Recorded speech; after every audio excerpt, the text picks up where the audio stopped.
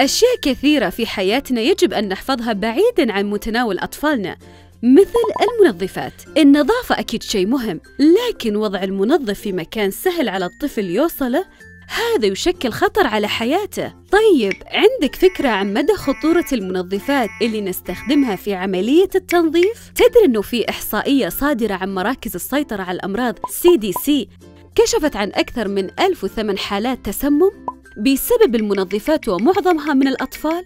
وراح ننصدم لو عرفنا إنه هالإحصائية خلال شهر واحد فقط. فاللي علينا إنه نكون على انتباه عالي بأخطار منتجات التطهير والتنظيف. عشان كذا مهم إن ناخذ بالاعتبار كل سبل الوقاية اللي منها اختيار المنتج اللي يحقق هدفنا بجودة عالية وأخطار أقل.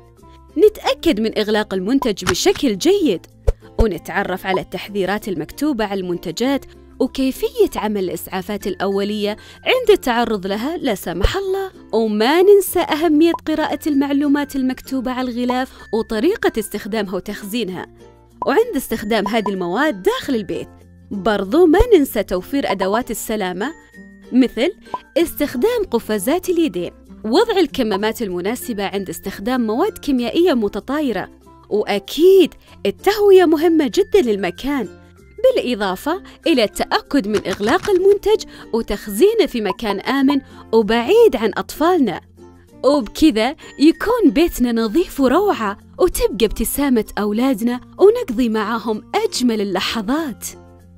مع تحيات الهيئة السعودية للمواصفات والمقاييس والجودة.